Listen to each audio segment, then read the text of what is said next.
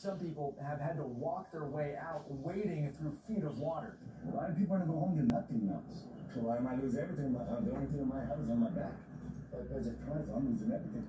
So I had to walk on the water. It's just like, like four feet of water. Currently, 34 counties in California are under a state of emergency. This comes after massive amounts of rain fell in this area. One National Weather Service rain gauge even picked up more than a foot of rain over a 48 hour period.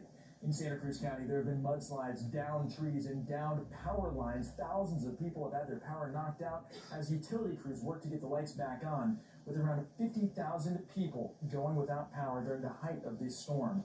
Emergency management officials have confirmed at least two deaths due to the storm and say that the danger is not over yet. Along the Kern River east of Bakersfield, water levels have been rising. Warm rain from this system has been melting a heavy snowpack in the mountains, triggering flooding in the eastern parts of the state. This as another storm system bears down on California, expected to hit early next week. Not what this rain soaked state wants to see. In Pajaro, California, Christina, back to you.